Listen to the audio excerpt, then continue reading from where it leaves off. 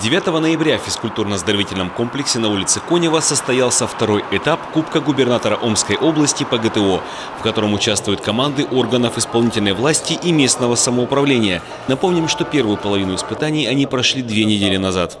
Первое место э, сразу с старта э, после первого этапа захватила э, наша команда Министерства по делам молодежи, физкультуры и спорта Омской области э, так скажем, на пятки с отрывом на одно золотую норматив уступает администрация города Омска.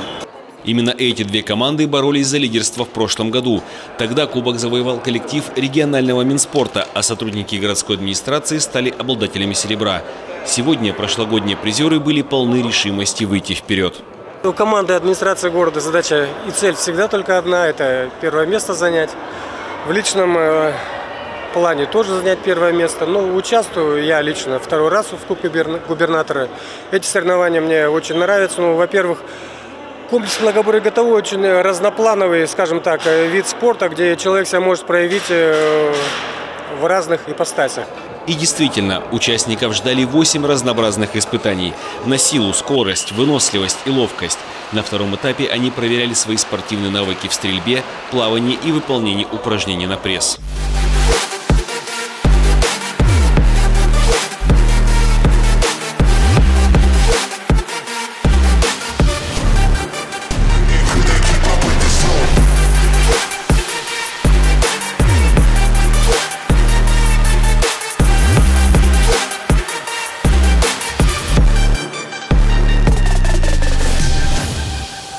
По итогам этих нормативов сотрудники администрации смогли опередить соперников и завоевать долгожданный трофей. В том году у нас такая же была очень упорная борьба с Министерством спорта, по молодежной культуры и спорта, с нашими, скажем так, друзьями.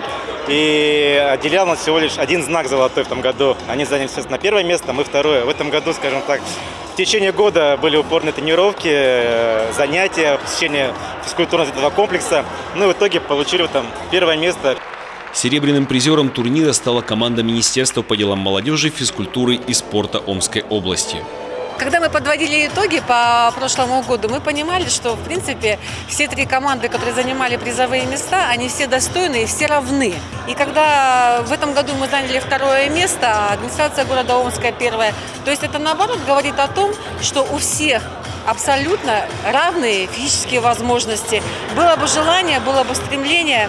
Конечно, у нас есть резерв, мы могли бы потянуть пресс, чуть-чуть быстрее пробежать или проплыть. Но это самая главная задача – это в первую очередь хорошее настроение, уйти с позитивом, с радостью, зарядиться положительной энергией.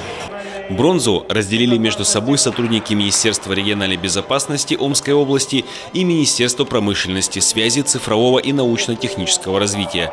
Также команде Минпрома был вручен специальный приз за волю к победе. Вот я считаю, что в честной борьбе мы сегодня проявили максимум усилий и нас оценили, дали нам кубок за волю к победе. Я хотел бы сказать большие слова благодарности нашему министру Андрею потому что, скажем так, э, он стал нашим капитаном команды, Э, подобрал коллектив, который сумел показать высокие результаты на протяжении двух этапов, первого и второго кубка.